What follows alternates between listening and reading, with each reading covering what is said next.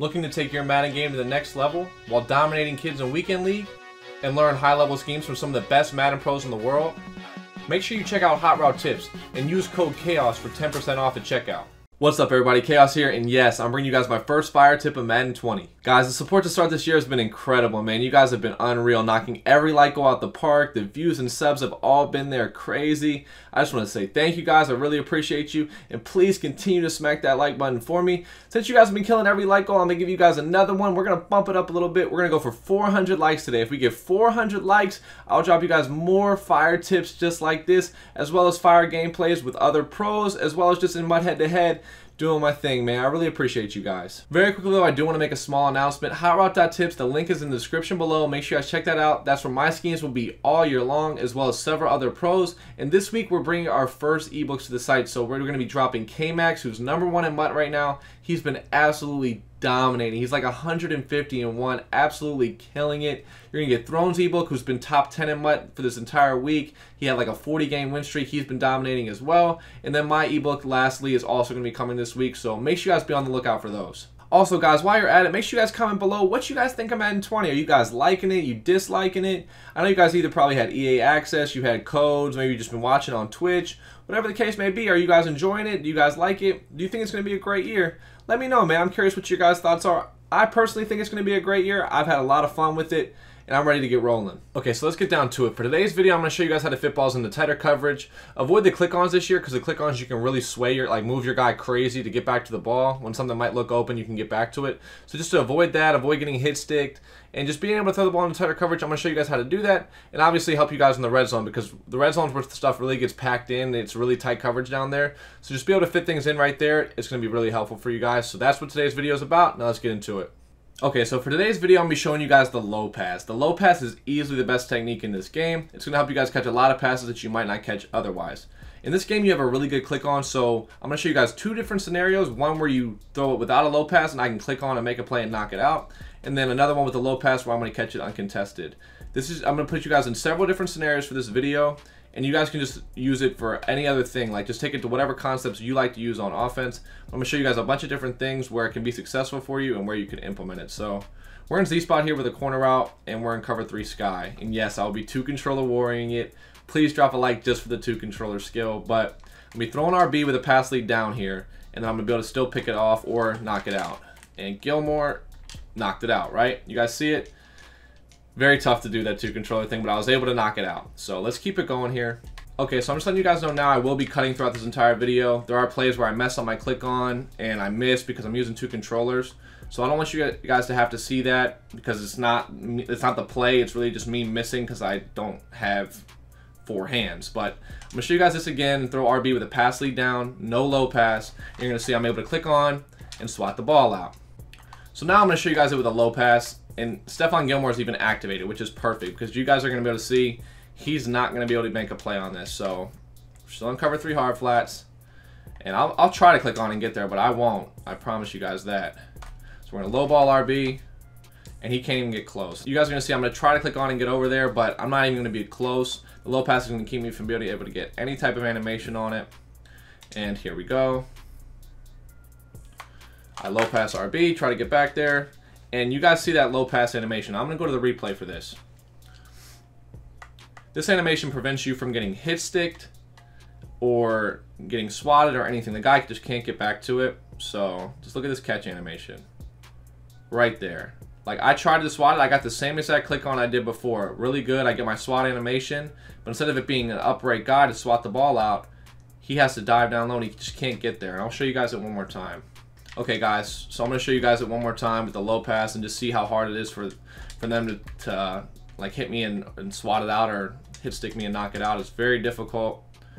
Go for the low pass again, right here. And I try to get there, but it just doesn't let me because it just doesn't let the defender play it the way he would when he's upright because they just don't play the same. They dive, they miss it, they don't get to you. Like watch him right here. Like I tried to click on and swat it, but you're gonna see I just dive at the ball. Like, so they can't get to that. It's just so different. And you guys are going to see it throughout the rest of the plays too. It's just a very, very different thing. So I'm going to I'm gonna jump to the next play, but that's it for Z-Spot. I'll show you guys a couple more scenarios where the low pass is, is really, really, really good. Okay, so we're in stick now with a short corner route, and we're in cover three. Now this short corner route will get underneath the deep deep throw, but if you don't lowball it, they can make a play on it. So you're gonna see here, I throw it, I knock it out. Okay, I'm gonna show you it one more time. Cover three with hard flats. I'm gonna be able to click on and make a play. Pass lead down, and I'm able to knock it out. Like that's a pick opportunity, honestly. Like that could be a pick probably 50% of the time. Like, let's look at this in the replays. And I'm not even getting the best click on. Like, I'm having to switch controllers. Imagine if I was actually reacting right when I threw it, like you would in a normal game when you only have to play defense. Like, that's a slow reaction. Imagine if I was getting a quicker reaction. I'd probably get it... I probably get to it right, like, here, and it's a pick easily. Like, But this one right here is almost probably a pick 50% of the time. Okay, so now I'm to throw with a low pass. And you guys are to see, I probably won't even have a chance to get over to my other controller when he's catching the ball.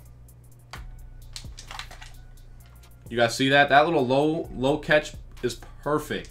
It's like so perfect because this year it's so easy to get hit sticks. Everyone can hit stick. I could get a hit stick. It's so easy. But look at this. It's impossible to hit stick this because he's falling to the ground. I'm trying to click on and get there, but there's nothing he can do. It's just not possible to get a reaction time quick enough to get back to that. Okay, so I'm going to show you guys this one more time. Cover three hard flats. Now, you, when you're doing this, you do want to be possession catching because it'll help you guys get that fall down animation. But I'm going to try to get there on this play. Wish me luck. It's going to be very difficult. And I can't get there. I try, but that whenever you get that fall down animation, you're just not going to get it with, with the cornerback. And when you possession catch, you're pretty much going to get that every single time. So let's watch here. There's nothing this guy can do. I try to click on and make the play here, and I'm running underneath it, but how can you get underneath the ball when the guy's falling right in front of it? You know what I mean? Like, there's nothing this computer can do to get to that. So that's where it is on both cornerbacks, both short and deep corner routes. I'm to show you guys that one play in the red zone, but it's not really just a red zone play. It's more so just a concept that you guys can mix in, and using the low pass can help avoid those zones when it's really compact in the red zone. Okay, so now I'm going to show the red zone. We're in cover three hard flats, and this is the guy I'm going to be hit sticking with. I just have a backside in route with a flat. I'm going to click on without the low pass. I'm going to click on and be able to hit stick it out, and then with the low pass, I won't be able to hit it out. And you see right there, I click on, make the hit stick, whatever. Okay, I'm just to show you guys one more time here how I can get the hit stick and knock it out. So in route with a flat, that's all it is. I'm to click on and knock it out. And you see right there, we're able to click on and make the play, right? Okay, now I'm to show you guys the exact same thing, flat route in route, but I'm to try to click on versus the low pass, and I'm not to be able to do it. So here it is right here. Low pass, and I try to get, I before I was getting the hit stick, I didn't even get close to my controller on that. I'm to show you guys one more time. You guys are seeing it's just way too quick. I tried to click on there. It's the same exact thing. Cover three hard flats. I'll try to click on the Van Noy, but it's not easy. I, I can't even get to my controller, guys. Seriously, you guys can say, like, he's just doing this for the video. Whatever. No. I can't even get to my controller. The low pass is just too fast. I can't get to it. There's nothing I can do. Like, we'll go into the replays. Look how fast Brady just rifles this thing in. And it just doesn't even give me a chance to hit stick. Like, look at that.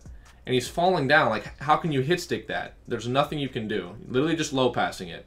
Okay, but that's it for me, guys. That's really everything I have for you. I showed you guys three scenarios. There's really a million different scenarios where you can use the low pass. If you guys are getting hit sticked a lot or people click on and swatting balls out or maybe even picking them off, make sure you guys are implementing this into your game. I'm pretty much low passing everything right now. I'm low passing posts, corners, in routes, curl, whatever, man. It's just, it's so easy to get a hit stick right now like if my grandma was hit sticking people, I'm low passing, man. I don't want that. I don't want my guys getting crushed. I don't want a fumble. I don't want incompletions where I should be catching the ball. Just start low passing and you'll make sure to not be able to get these hit sticks off. But I hope you guys enjoy, man. That's it for me. Take it easy. Peace.